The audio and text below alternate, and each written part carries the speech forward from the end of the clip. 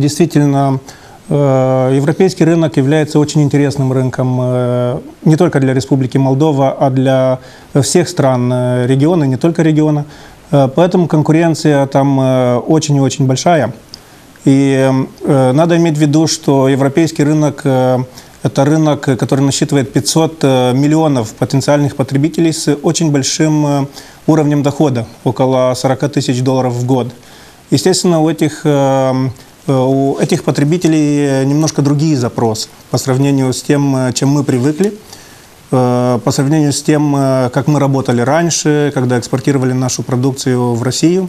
Соответственно, здесь очень важно, опять же, возвращаемся к теме стандартов, очень важно иметь соответствующее качество, очень важно понимать, что, что хочет купить европейский потребитель.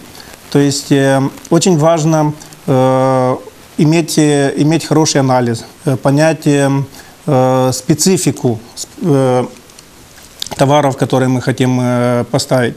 Но даже этого может быть недостаточно. Например, последние полтора года мы столкнулись с такой проблемой, что Россия ввела санкции на импорт, импорт сельхозпродукции из стран Европейского Союза. Это сразу же ударило и по нашим производителям, потому что, э, например, Польша, одна Польша, которая экспортировала очень много яблок э, в Российскую Федерацию, э, в состоянии э, обеспечить э, большую часть спроса, который э, Европейского Союза.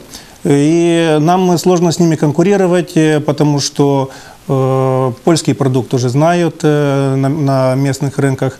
И еще есть, э, есть вопросы, связанные с субсидиями, потому что Европейский Союз, сельхозпродукция в Европейском Союзе субсидируется на уровне, конечно, намного большим, чем, чем в нашей стране.